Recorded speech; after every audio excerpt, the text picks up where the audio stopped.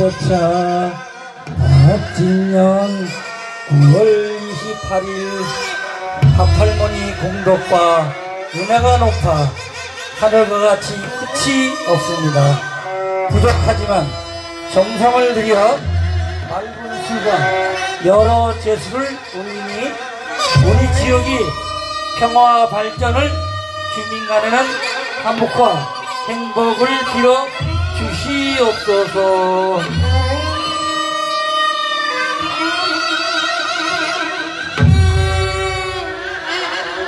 자, 모두 재배하시는 순서. 네.